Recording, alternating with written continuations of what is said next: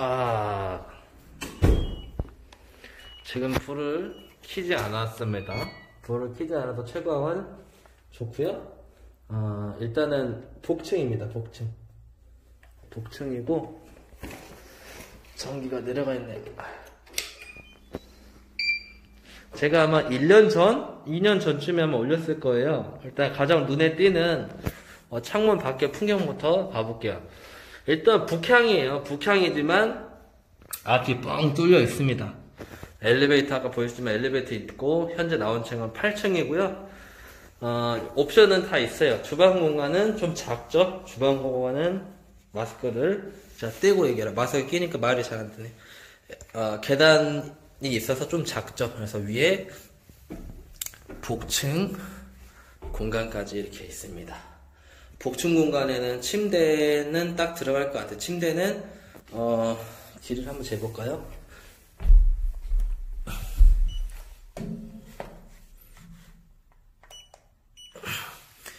1m 80, 이렇게가 1m 80이니까, 퀸 사이즈가 1m 60 아닌가요?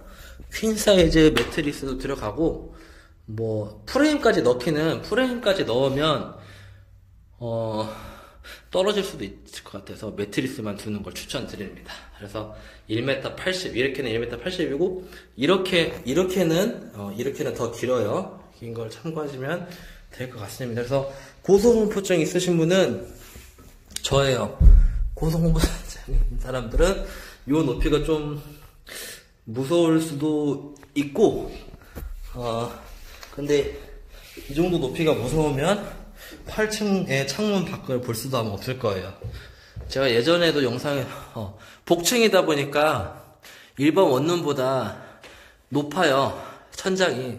그렇기 때문에, 어, 에어컨 같은 거 키면 일반 원룸보다는 당연히 공간이 넓으니까 좀 시원한 게 일반 원룸은 한 30초면 30초면 추워지고 이런 복층은 시간이 조금 더 걸릴 거예요. 그래서 다른 분이 유튜브에 뭐 복층은 뭐 별로다 안 좋다 이렇게 얘기하신 분이 있는데 그거는 사람들마다 어 다른 것 같아요.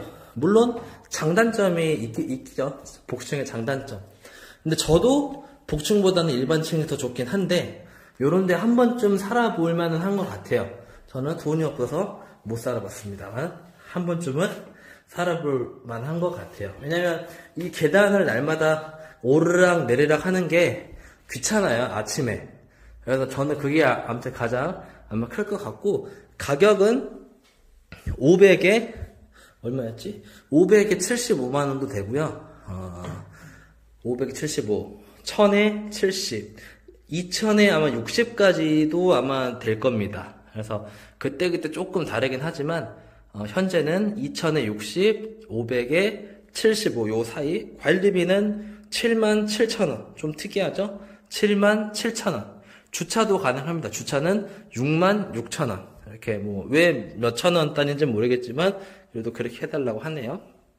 전자레인지도 있고 인덕션 주구에 드럼 세탁기 이렇게 있습니다. 그래서 위에 복층 공간을 빼고 음, 5m 27이 나오고요. 가로는 3m 21 정도가 나오네요. 그래서 여기는 이제 옷장, 옷장이 하나 이렇게 있고 한 개 반, 한 개 반 정도가 있네요. 오늘 아까 걸어왔더니 머리가 엉망이네요. 그래서 이런 거를 이제 어 500에 막 40 이렇게 기대를 하시는 분들은 저도 그 가격이면 제가 살 겁니다. 그 가격으로는 이런 집은 좀 어렵죠. 누가 봐도 조금 그런 좋은 집들은 그래서 어 이게 뷰가 모든 절반은 이쪽 북향, 절반은 남향인데 남향은 막혀 있을 수도 있어요. 그래서 오히려 이렇게 뻥 뚫려 있는 북향 호수가 더 저는 나은 것 같습니다. 그래서 아무튼 그렇습니다. 그래서 요거는 요 정도 가격이다 라고 보시면